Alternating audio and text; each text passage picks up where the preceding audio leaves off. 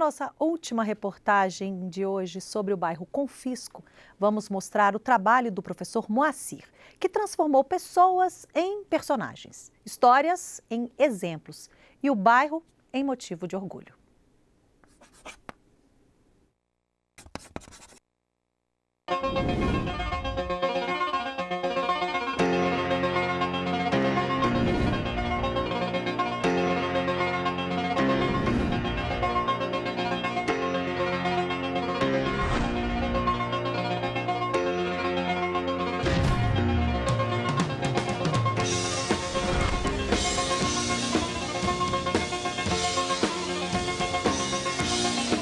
João se forma este ano no ensino médio da escola Nifranc, no Confisco.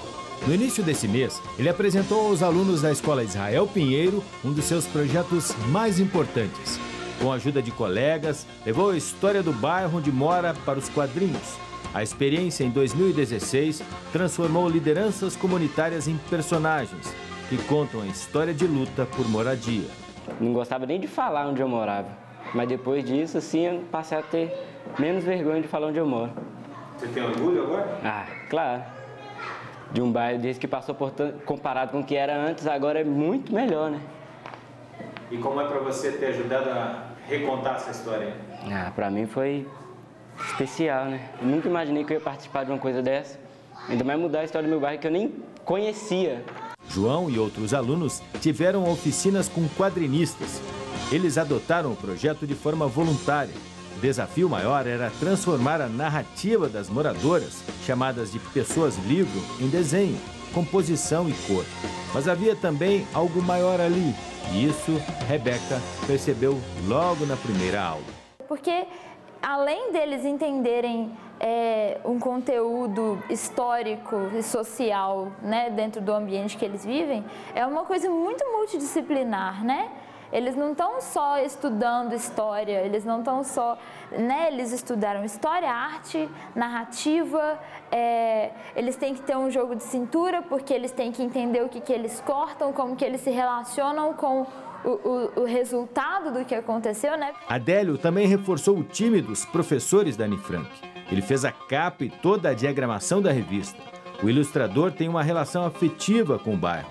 Os avós moram ali e a mãe trabalha na escola. Quando eu fui fazer o projeto, tipo assim, foi, eu, eu ia, ia fazendo meu trabalho e ia lembrando de, de tudo que, que, tinha acontecido assim, no bairro. Assim. E eu vi que o trabalho assim, era um, que a revistinha seria um bom instrumento para a memória do bairro mesmo, assim, de, que realmente contava a história do bairro. Assim. Um, um, exercício, um bom exercício de memória. Assim. Paulo trabalhou na revisão de texto e no roteiro da revista. Professor em início de carreira, ele também aprendeu com o projeto, especialmente sobre a adesão dos alunos àquela forma de aprendizado. Traz uma contribuição incrível para a identidade deles. Eles começam a se apropriar tanto do espaço escolar quanto do espaço da comunidade e percebe que não tem muitas barreiras que dividem um e outro. São basicamente a mesma, a mesma coisa, o mesmo corpo. Né? Então eles começam a participar começam a levar isso para a vida deles. E quando você pensa que esse projeto foi concluído em 2016 e ainda tem a repercussão que ele tem hoje, dois anos depois, e vai continuar repercutindo por muito tempo ainda, você vê como que é, é importante esse tipo de interação. Com o projeto, Anne Frank foi reconhecida Escola Transformadora em 2016. No mesmo ano, foi finalista do prêmio Desafio Criativos da Escola. No ano seguinte, conquistou o Prêmio Nacional de Educação e Direitos Humanos.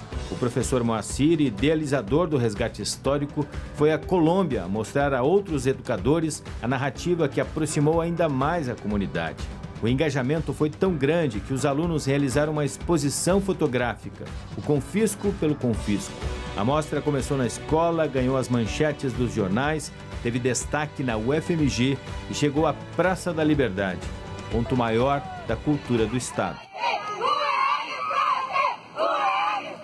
O Ministério Público também abraçou o confisco. A Promotoria de Defesa do Patrimônio Cultural do Estado firmou parceria com a Secretaria de Educação de Belo Horizonte para capacitar professores de EJA e Educação Básica sobre construções narrativas, a partir da experiência na escola Anne Frank. Este trabalho visa resgatar é, é essa noção de cidadania, de pertencimento e de identidade dessa comunidade. Afinal de contas, aqueles que não têm um sentimento de, de pertencimento é, ao, seu, ao seu lugar, né, não luta por ele e não luta para mudar a história do lugar de onde vieram. Não é exagero dizer que o confisco ganhou o mundo através da educação.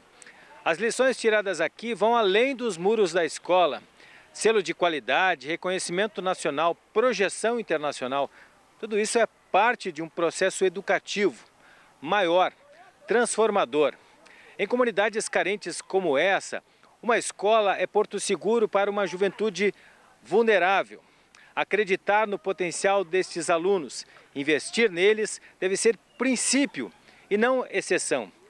Olhar atento de um educador salva vidas.